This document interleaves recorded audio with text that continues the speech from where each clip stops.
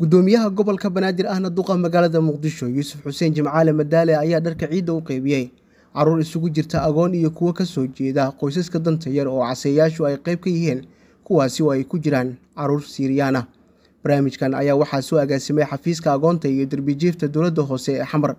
Ugu horeyn waxaa munaasabadda dahfuray ilhaan oo ah agaasimo ku-xigeenka waaxda agoonta iyo derbijiifka maamulka gobolka banaadir alxamdulilah ilahi mahadda u sugnaatay. Halkaan maanta waxaan u joognaa inaa iidsiino afar boqol iyo konton ilmood oo iskugu jiro ilmaha danta yar iyo ilmaha qaxootiga siiriyaanka ah iyo carruur kaleeto oo aad u da'yar oo ayakana oo caseeyaal ah alxamdulilah waxaan u mahadcelinayaa gudoomiyaheenna oo noo ogolaaday in barnaamijkan si qurux badan ilaahay noogu dhammeeyo iyo tiimka nala shaqaynayo waxaa leeyahay adinkana aada umahadsantihiin mid ka mid ah dhallinyarada qaybta ka ahayd barnaamijkan ayaa hadalka qaatay waxaan aad iyo aad ugu faraxsannahay inaan qayb ka ahaano inaan sidoo kale kala qayb qaadano gobolka banaadir. In aan la samayno ciidsiinta dadka daynta yar.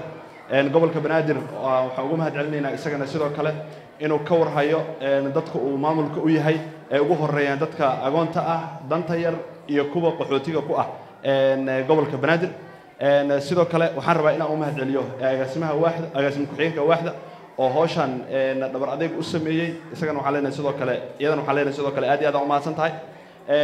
Intaas kadib gudoomiye madaala waxaan rabnaa si gaara inaan ugu mahad celino maadaama hawshan uu asana sidoo kale qayb weyn ka ahaa duqii caasimadan u yahay. Waxaan leenahay gudoomiye madaala waa kaa qabnaa sida wanaagsan aa uga warhaysid.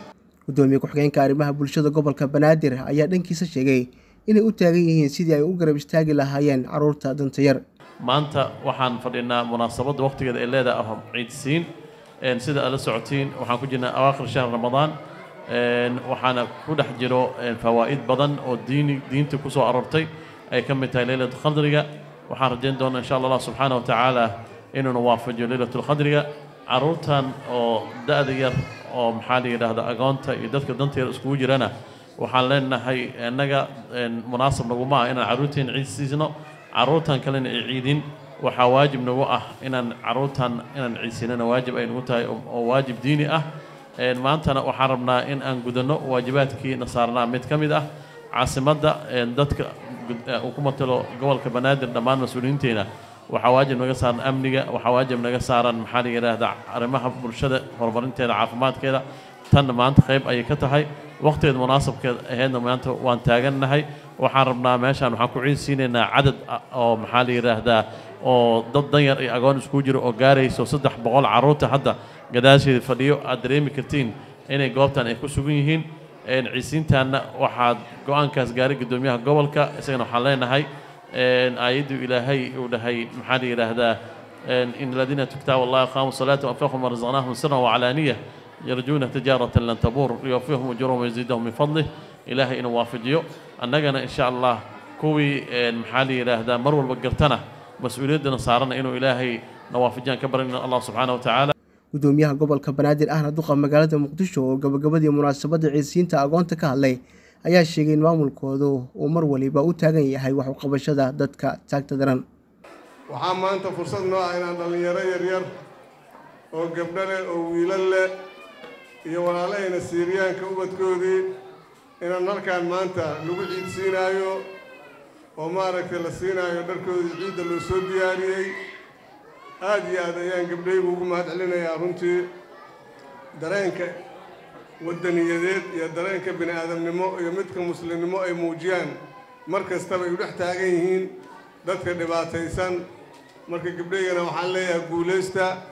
Waxay ahdaa afurintii ramadaankii oo dhan afurinaad ka shaqaynayseen haddana waxaad ka shaqeeyowsiin ciidsiinaad ka shaqaynaysiin saad u dadaalaysiin ood gurmadkaas ugu fidinaysiin ubadka ilaahay waxaan kaa baryayaa inuu maaragtay waxaad jeceshin idin siiya adduunya aakhiraba. Waxaan leeyahay maamooyinka iyo waalidiinta ayaguna carruurtooda soo badbaadiyey ee soo koriyey ee gacanta ku haayo ilaahay wuu idinka ajir siinayaa zakariya axmed muuse t v-ga shabeelle muqdisho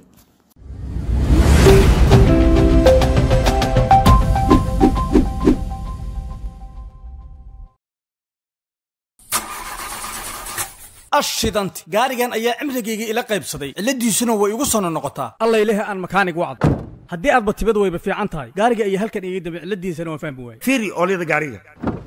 Ee shalan ku shubay olyo maba ku jirtee? Oolyooyinkan hadda socdo. Haddaan anaga makaanig nahay aadan ugu wareerna oo imaratis oil ma isticmaashid miya? Imaratis oil oolyo aan ahayn gaarigaagaa ku subin